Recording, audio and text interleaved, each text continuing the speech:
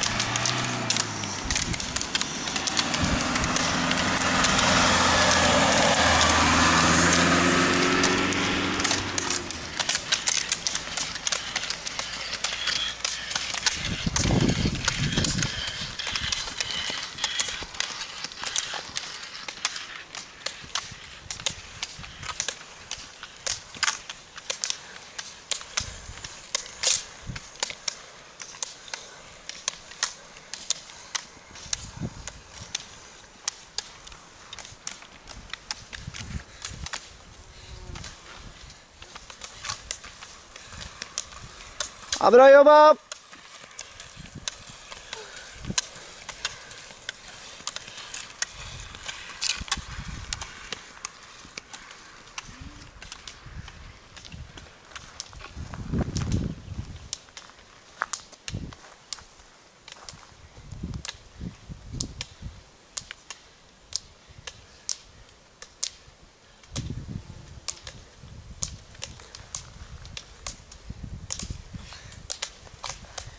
Nå, kom igjen. Jobba på.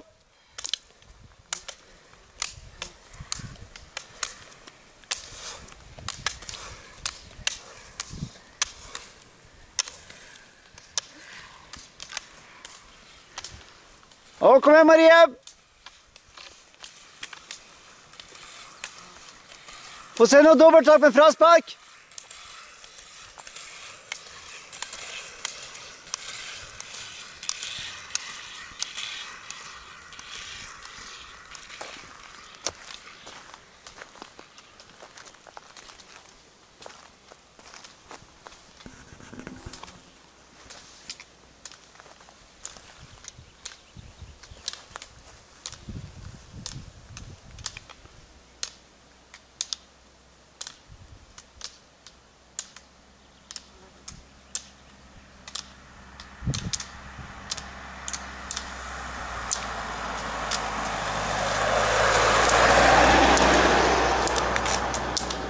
Kom igjen, gutta!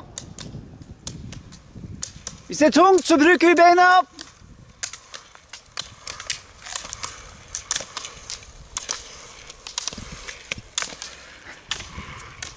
Kom igjen, Henrik. Godt jobba.